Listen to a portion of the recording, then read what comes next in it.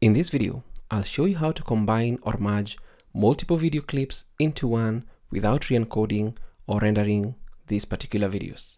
Welcome to this video. My name is David. I hope you're well wherever you are around the world. So, in a previous video, I walked you through how you can download Lossless Cut for free.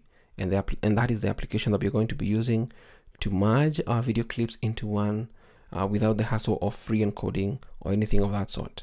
So I already have Lossless Cut installed uh, and I also have the four videos I want to merge together.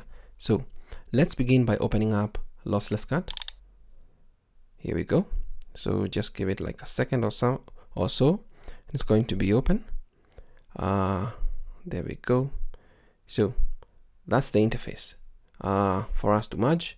Uh, to merge uh, this particular footage, you can either click on tools and then click on merge files and then it is going to prompt you to pick the different files that you want to merge. For example, if I wanted to merge the four files, I'll just click on the first file and then click on the last one by pressing down on shift and clicking and it selects all four clips.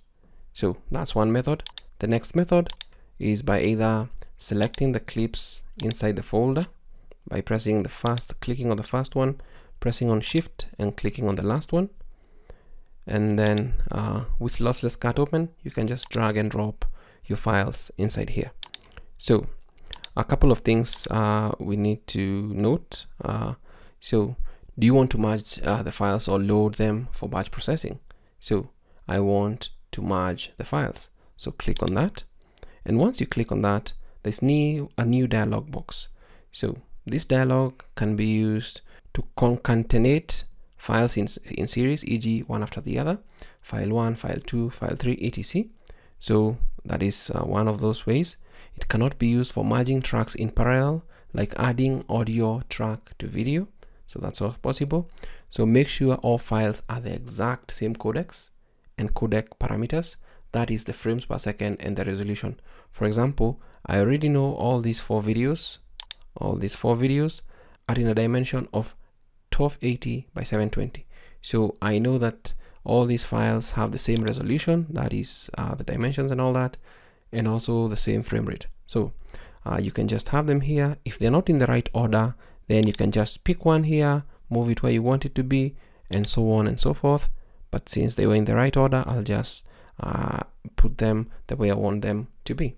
The next thing is that if each video had different like tracks had subtitles embedded, then you need to check on this particular box because if you don't do this, then only the default streams will be included in the merged video. And finally, if you'd like to create uh, chapters for these particular videos, uh, then uh, this would really work by checking out this particular section if you want to create uh, the merged segments and you'll notice that it mentions that this will make the process a little bit slow.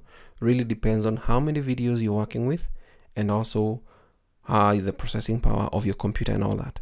Let's uncheck this first. Uh, so we have our files here. Uh, next up there's this particular button here that uh, is more or less uh, like to give you an ascending to descending order. If that is what you're looking for these changes uh, descending to the last file to the first file but we just want them to be from one two three four.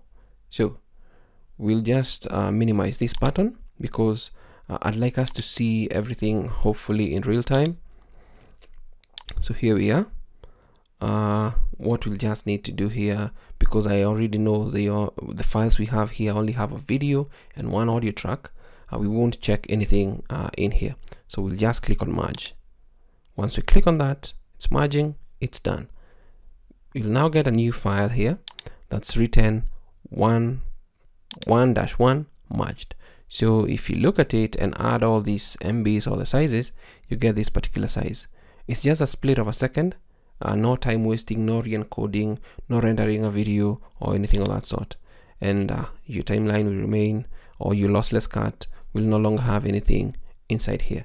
So that is how you can combine or merge multiple video clips into one without re-encoding or even rendering the video uh, to whatever that you want. So we can just rename this slightly merged one so that I can show you, for example, if I just double click on this, uh, when you select not to have or when you don't check the uh, the button for uh, creating markers then uh, there are no markers that are going to appear.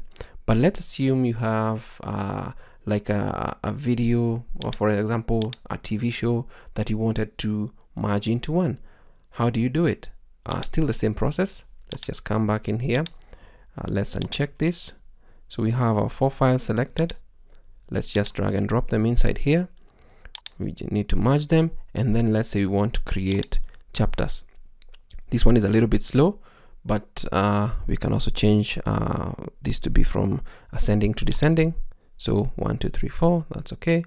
And then we'll just click on merge. So once we click on merge it's going to begin merging and you'll see this new video start uh, appearing here. Uh, and uh, since it's going to be creating chapters for our video then the process takes a little bit of time, not so much time uh, that uh, we can't wait for it. Uh, but the reason why you may need to do this is if you want to watch a show and want to use the chapters to skip uh, to the next uh, section that you want, then having chapters on your videos will really help navigate throughout uh, your video with ease.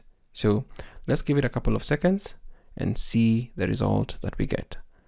So there we go. We're at 50% now.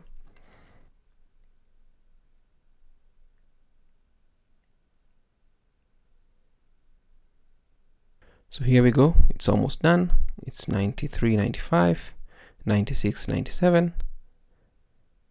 And it's done merging. Files merged. So it's this particular uh, video file here, 1.1. So if we just double click on it. With the recent update.